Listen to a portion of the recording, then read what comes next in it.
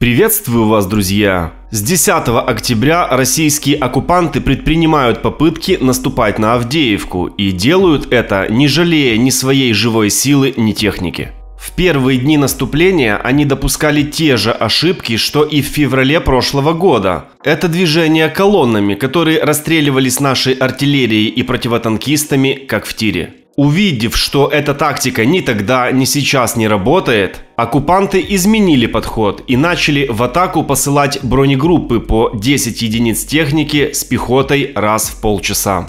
При каждом таком заходе наша артиллерия уничтожала 2-3 единицы вражеской техники, а также выкашивала значительную часть живой силы противника.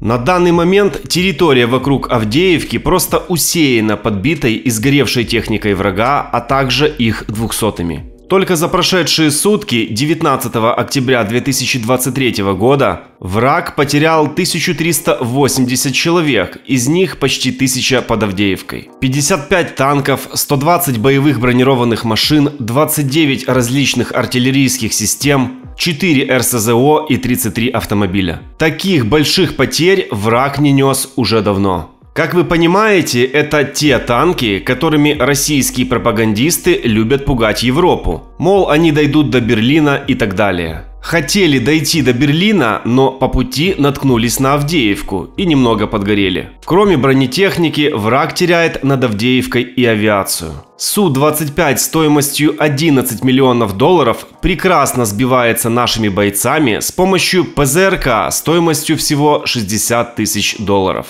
А вот 4 новеньких BMW 3M 2020 года выпуска стоимостью более 1 миллиона долларов каждая. Уничтожены воинами ВСУ всего за одну ночь, причем на одном и том же месте. Российские Z-каналы сами пишут, что текущие результаты наступления, которое проходит уже почти 10 дней, никак не стоят понесенных потерь. Множественные фото и видео подтверждают огромные потери российской армии. Успешное первое применение ракет «Атакамс», в результате которого, по данным британской разведки, оккупанты потеряли не менее 14 вертолетов на аэродромах Бердянска и Луганска, а также осознание того, что через несколько месяцев на вооружении Украины появятся долгожданные F-16, вынуждает Путина говорить о переговорах. Правда, как всегда, он врет, заявляя, что это Украина хочет переговоров, а не Россия.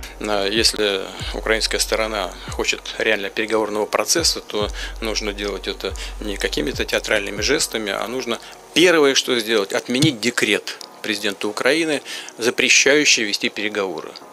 Мы слышим сейчас, что они вроде как бы готовы к каким-то переговорам уже.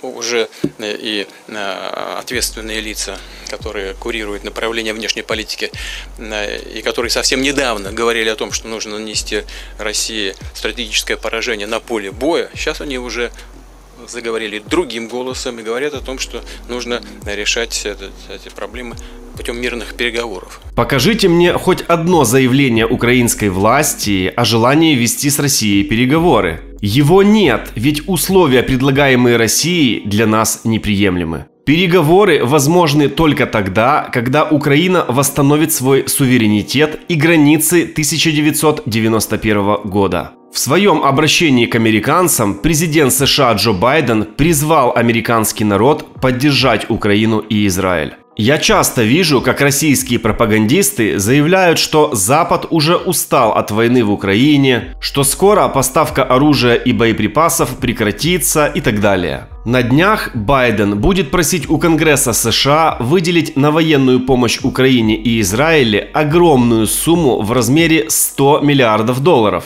Вот тогда мы и увидим, прекратится ли поставка техники в Украину или наоборот увеличится касается таланта украинских хлопцев, издание американское Яху сообщает, что они не просто за 4 месяца способны научиться летать на совершенно незнакомой для себя сложнейшей технике, я имею в виду американские истребители, а за две недели они умудряются английский язык. Ну просто боги какие-то, чудо-люди.